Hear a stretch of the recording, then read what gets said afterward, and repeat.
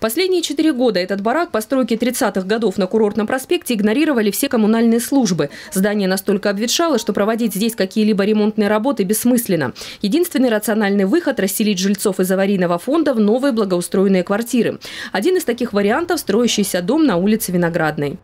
Предоставляем квартиры квадрат в квадрат. То есть ровно сколько мы изымаем, ровно столько жилого помещения квадратных метров мы и предоставляем. Соответственно, квартиры были выставлены на конкурс для приобретения.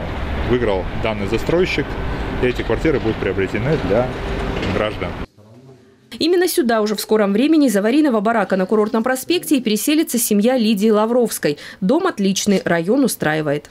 Все очень рады, конечно же, после таких сложных условий получить квартиры в этом доме. Я считаю, район прекрасный, море видно, парк под окном, уже это радует.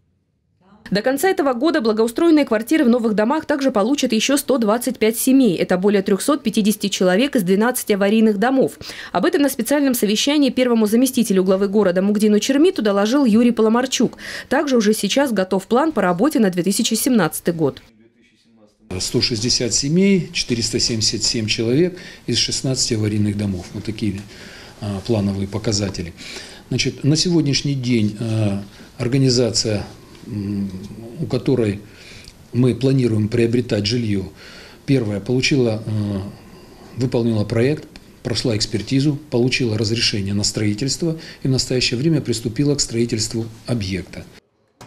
Федеральная программа по расселению заканчивается в сентябре 2017 года. Тем не менее, в администрации Сочи по поручению главы разработан проект, который позволит продолжить переселение и дальше. Новый план будет рассчитан с 18 до 28 года. По предварительным данным, во втором потоке земли, оставшиеся после расселения, будут выставлены на торги и реализованы под строительство нового муниципального жилья. Галина Моисеева, телекомпания ФКТ.